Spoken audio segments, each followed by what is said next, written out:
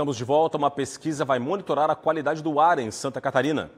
Destruição, morte e danos ao meio ambiente. As queimadas em várias partes do país geraram ainda um outro efeito colateral: a piora da qualidade do ar. No auge dos incêndios, São Paulo chegou a ter a pior qualidade do ar no mundo. As queimadas nas regiões amazônica e centro-oeste do país podem ser sentidas pela população também em Santa Catarina. Além disso, a poluição provocada pelo excesso de veículos nas ruas impacta diretamente na qualidade do ar. Por isso, a partir de agora, Santa Catarina vai realizar um inventário de emissões atmosféricas.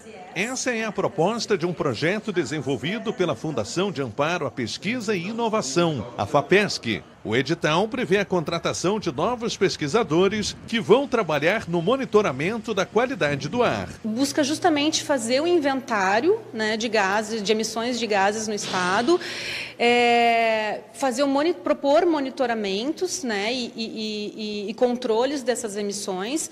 Tem fontes no estado que nós já temos mapeadas. Essas fontes que já estão mapeadas, elas precisam ser atualizadas e temos fontes que não foram mapeadas ainda e precisamos a, a mapear. Né? essas fontes. De acordo com dados da Organização Mundial da Saúde, a poluição mata mais de 7 milhões de pessoas por ano. Os efeitos são doenças como câncer, problemas respiratórios e outros que reduzem a qualidade de vida das pessoas. Quem tem problemas como asma, bronquite, isso pode se acentuar, né? mas principalmente relacionado a problemas respiratórios.